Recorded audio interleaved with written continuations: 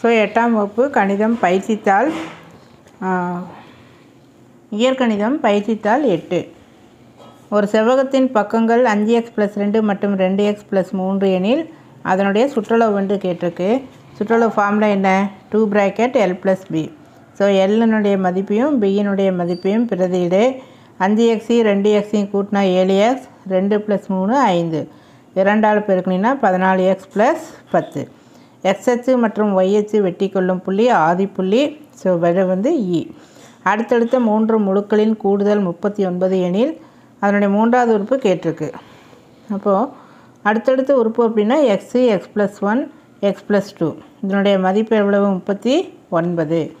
அப்போ இது எக்ஸு எக்ஸையும் எக்ஸையும் கூட்டினா மூணு எக்ஸு இதை கூட்டினா மூணு ப்ளஸ் மூணு அந்த சைடு கொண்டு போனால் மைனஸ் மூணு ஸோ முப்பத்தி ஆறு.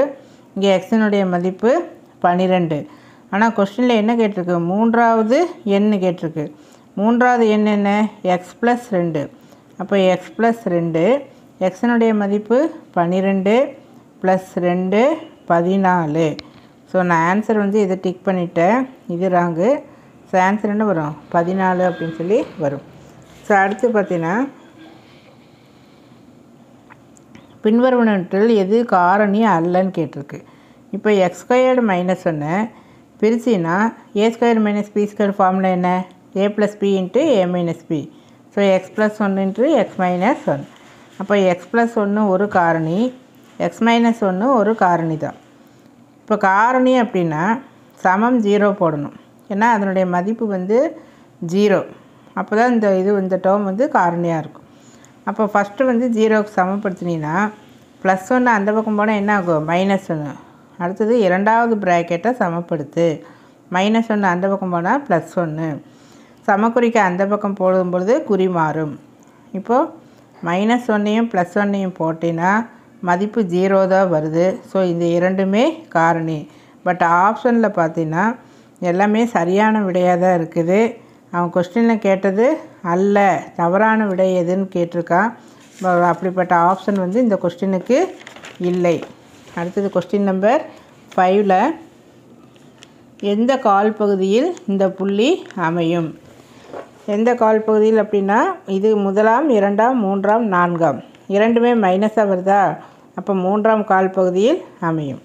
அடுத்து இதனுடைய காரணிகளை கேட்டிருக்கு. இது formula a cube minus b கியூப்னா a minus b a square plus ab plus b square நீ கவனமாக இருக்க வேண்டியது இங்கே ப்ளஸ் வந்தால் இங்கே மைனஸ் வந்தால் இந்த இடத்துல என்ன இருக்கும்? ப்ளஸ் அப்படின்னு சொல்லி இருக்கும். அப்போ இந்த ஃபார்முலா படி இந்த முற்றொருமையை பயன்படுத்தி இதை பிரிக்கிறோம். அப்போ வரக்கூடிய ஆன்சரு இ e. இதன் காரணிகள் அப்படின்னு சொல்லி கேட்டிருக்கு.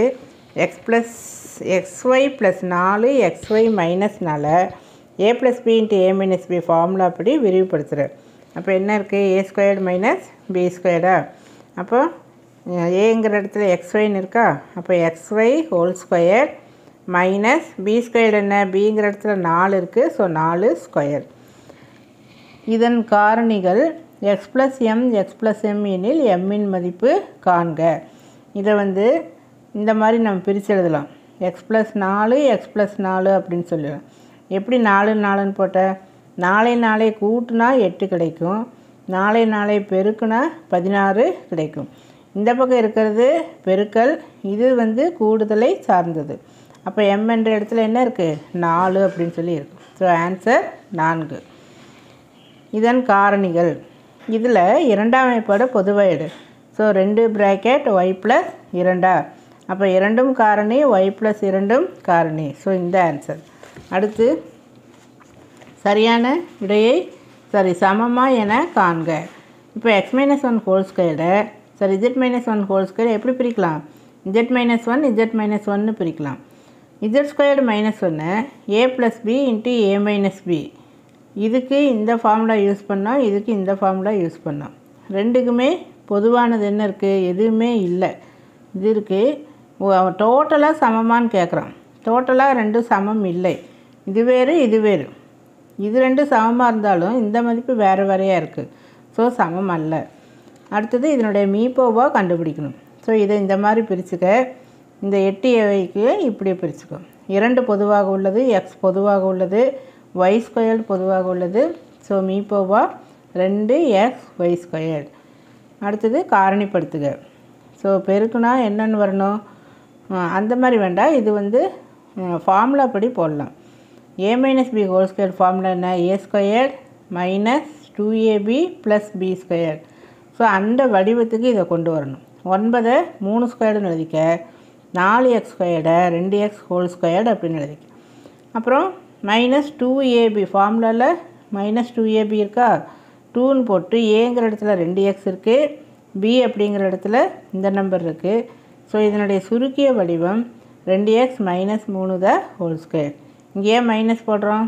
இங்கே மைனஸ் இருக்குது ஸோ கொஸ்டினில் மைனஸ் வர்றப்போ இந்த இடத்துல மைனஸ் கொஸ்டினில் சப்போஸ் ப்ளஸ் வந்தால் இந்த இடத்துல ப்ளஸ்ஸு ஒரு முக்கோணத்தின் மூன்று கோணங்களின் விகிதங்கள் கொடுக்கப்பட்டுள்ளது.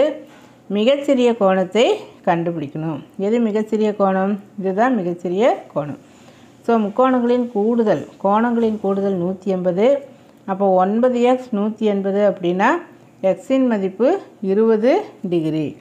அடுத்தது அப்போ இதோட மதிப்பு நாற்பது. ஏன்னா மிகச்சிறிய கோணம் தானே கொடுக்குறோங்க. அப்போ ரெண்டை வந்த இருபதால் பெருக்குனின்னா நாற்பது.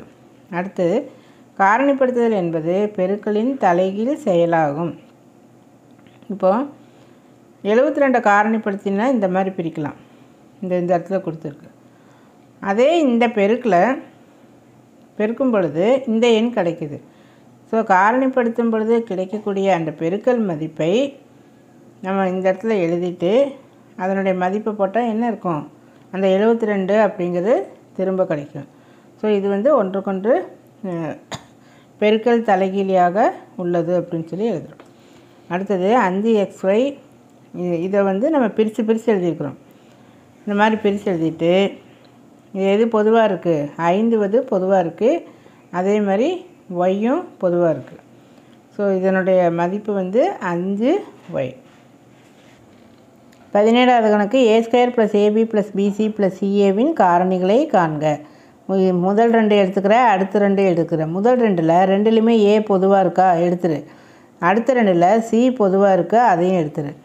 அப்போ இங்கேயும் ஏ ப்ளஸ் பி இருக்குது இங்கேயும் ஏ ப்ளஸ் பி இருக்குது ஸோ ஏ ப்ளஸ் பியை பொதுவாக எடு. ஏ ப்ளஸ் பியை பொதுவாக எடுத்துட்டா மிச்சம் என்ன இருக்கும்? ஏ ப்ளஸ் சி அப்படின்னு சொல்லியிருக்கோம். ஸோ இதனுடைய காரணிப்படுத்துதல் இந்த ரெண்டு ப்ராக்கெட்டில் வரக்கூடிய விடை. அடுத்தது இந்த கோவையை மூன்று காரணிகளை கொண்டது என காட்டுக. இப்போ இந்த ரெண்டுலேயுமே எக்ஸ் பொதுவாக இருக்கா? அப்போ எக்ஸை வெளியிடு. அப்போ அடுக்கு மூன்றில் ஒரு எக்ஸை எடுத்துட்டோம். அப்போ மிச்சம் எத்தனை இருக்கும்? ரெண்டு இருக்கும். இந்த எக்ஸை முழுவதுமே எடுத்துட்டோம். அந்த இடத்துல என்னென்னு இருக்கும்? ஒன்று அப்படின்னு சொல்லியிருக்கும் இது a squared minus b squared formula அப்போ a plus b a minus b so மூன்று காரணிகள் கிடைக்கப்பட்டது. ஒரு மாணவன் சரியாக விடையளிக்க ஒவ்வொரு வினாவிற்கும் மூன்று மதிப்பெண்கள் பெறுகிறான். தவறான விடையளித்தால் ஒவ்வொரு மதிப்பெண்ணிற்கும் இரண்டு மா மதிப்பெண்களை இழக்கிறான். மொத்தம் பதினேழு வினா.